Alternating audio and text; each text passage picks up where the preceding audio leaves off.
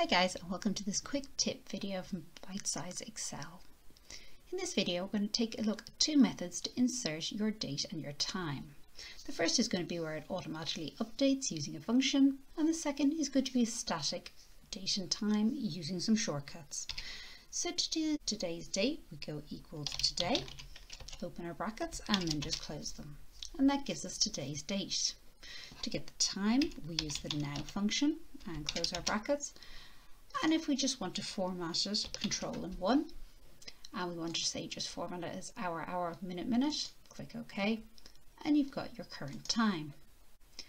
You can also insert a static date by holding down control and then semicolon and that will give you today's date and as you'll see as soon as I hit enter the time updated. If I hold down control shift and semicolon you get the current time in. So this one updates and this one's going to be static. So that's just today's quick tip, how to insert a date and a time, both in a static format or automatically updating. I hope that you found it useful and we look forward to seeing you in the next video.